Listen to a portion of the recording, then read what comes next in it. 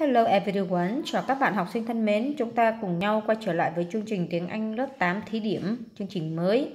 À, và hôm nay sẽ giới thiệu tới các bạn một cái đề kiểm tra 15 phút để cho các bạn ôn à, chuẩn bị cho các bài kiểm tra sắp tới nhé.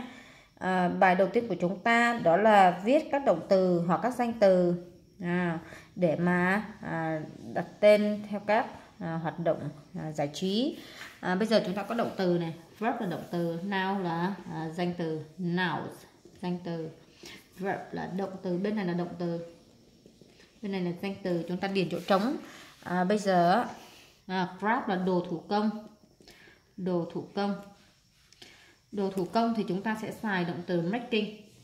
Making craft crafts rồi câu số 2 à, do it yourself à, do it yourself. Cái này là do it yourself này. Do it yourself. Tức là làm đồ tự làm nhá. À, DIY là tự làm những cái đồ tự làm. À, tự làm. Ở đây sẽ xài cái động từ doing. Doing ok. Còn playing thì chúng ta có playing cái gì? Chúng ta có playing ví dụ playing football chẳng hạn thể thao. Uh, basketball chẳng hạn.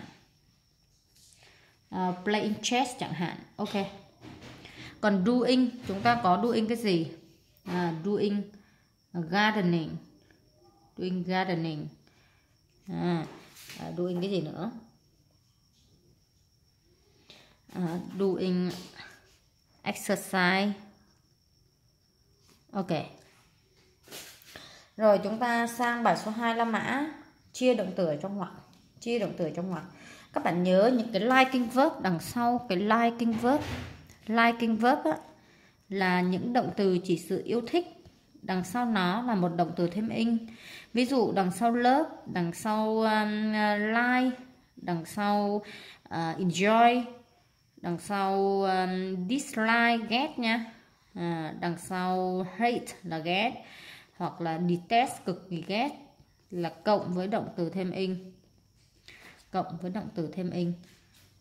Adore nữa này này love này plies uh, my adore prefer uh, fancy enjoy. Tất cả sau tất cả những cái động từ này đều là động từ thêm in. Rồi vậy chúng ta thêm in vào thôi. Ở đây sẽ là listening. Và dịch như sau. Tôi thích nghe nhạc với tai phone câu số 2 chị gái tôi thích nấu ăn nhưng cô ấy cực kỳ ghét rửa bát. À, đây là detest đằng sau detest cũng là động từ thêm in cho nên ở đây chúng ta sẽ chia là gì? Là cooking và đây sẽ là washing cooking washing. Bên này đằng sau my là động từ thêm in cho nên ở đây sẽ là picking và à, câu ba dịch như sau. Bố của cô ấy không phiền khi mà đón mẹ cô ấy sau giờ làm mỗi ngày. À, ông ông không cảm thấy phiền câu số 4 adore là yêu mến. Họ yêu mến à, việc làm và ăn à, tức là nấu và ăn đồ ăn ngon.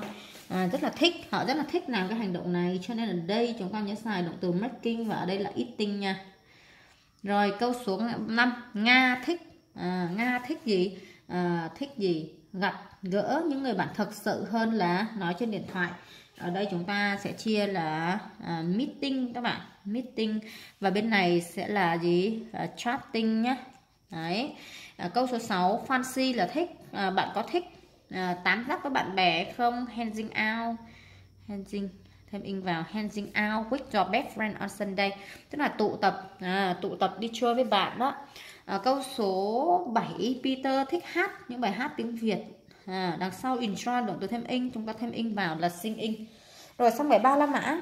Xong bài ba la mã chúng ta có tất cả là ba bài. Bài ba la mã là gì? Là viết đầy đủ câu sử dụng những từ người ta cho sẵn.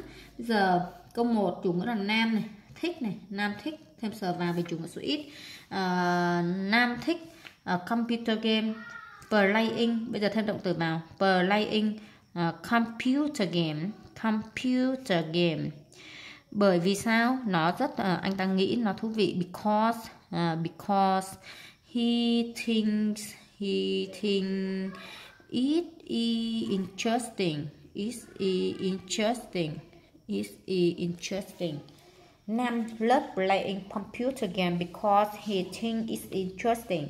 À, câu số 2 tôi không phiền làm bài tập về nhà mỗi ngày. Ở đây sẽ là gì? Có not I don't I don't mind I don't mind doing uh, doing the homework the homework the homework. Every day every day I don't mind doing the homework every day. Tôi không có phiền khi phải làm bài tập về nhà mỗi ngày. Câu số 3 à, bạn bạn gì? Hoạt động giải trí hoạt động thư giãn hay là hoạt động à, trong thời gian rảnh trong thời gian rảnh vào? Uh, you à, à, you gì ta? Bạn nên à, làm và nó sẽ làm cho bạn nó làm cho bạn cảm thấy thư giãn. Vậy là ở đây chúng ta chọn là you um, should you should do bạn nên laser laser activity.